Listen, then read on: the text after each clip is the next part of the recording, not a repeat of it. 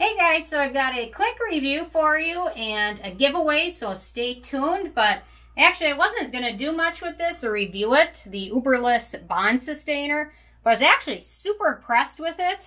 Uh, I thought it would help brighten my hair up a little bit. Uh, and if you look, this is after like two washes now, and I didn't really do much. I just used it as like a conditioner, left in my hair for five minutes while I was showering, and it really did give my hair kind of a bright yellow tone. I thought it would, I don't know. It's a little more yellow than I thought it was, but it's pretty true to the color on the bottle. And so it, they've got a lot of different colors. So if you have uh, hair that's bleached a little bit, or if you have highlights or are looking to add some color, uh, it's kind of a fun way to do it. So anyway, I thought I would do a quick review of it because uh, just be careful because it is very, very true to the color of the bottle. Like yellow, I thought it brightened my hair up a little bit, and it definitely did. Uh, and this is after a couple washes, and I only used this once. So, uh, so if you're looking for kind of a fun way to color your hair and also kind of treat it at the same time, uh, it works pretty well and also leaves it nice and soft and conditioned.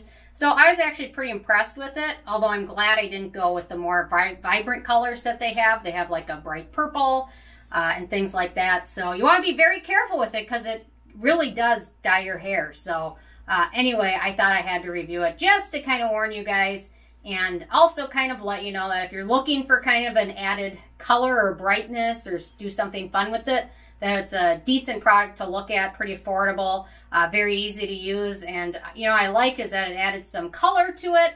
Uh, it will, it helps repair your hair at the exact same time. And it doesn't really include a lot of fragrance or anything like that. Uh, it's got mango in there and a few other things, so it has a light scent.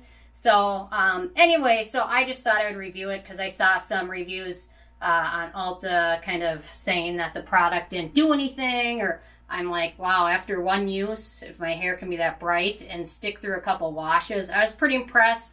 And I go see my hairstylist in a couple weeks, and I hope by then it's kind of faded out because she's not going to be happy with me. So anyway, thought I would just do a quick review of that and then also announce the giveaway. And I also want to mention to Brittany Carey from the winner last week, uh, send me a message with your uh, address and I'll get this in the mail to you anyway. So this week I want to give away two brand new products uh, that I've had duplicates of. So one is the Dr. Denese uh, Day Cream SPF, which is a really nice uh, tinted sunscreen. It works very well. And then the Supergoop uh, Super Screen, Super Screen Daily Moisturizer, brand new as well. And I've reviewed both these if you want to check out the reviews. But uh, anyway, so I will be uh, doing a giveaway. So anyone that leaves a comment on this video and a thumb up, uh, you'll be entered and then uh, we'll send it out to you. Uh, so I'll announce the winner tomorrow. So be sure to get your comment in. Uh, anyway, so those are kind of my thoughts. And uh, yeah, so I'm interested if you guys have tried this or if you tried anything else fun with hair color. what have you tried and how have you liked it? Some are totally hit and miss and you just never know. And this is a hit if you like bright yellow or pink or whatever. So uh, anyway, leave a comment. I love hearing from you guys. And I will see you tomorrow. Thank you guys so much.